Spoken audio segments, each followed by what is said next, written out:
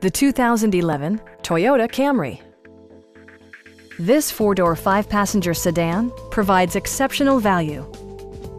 It features an automatic transmission, front-wheel drive, and a 2.5-liter four-cylinder engine. Toyota prioritized practicality, efficiency, and style by including variably intermittent wipers, a leather steering wheel, fully automatic headlights, and more.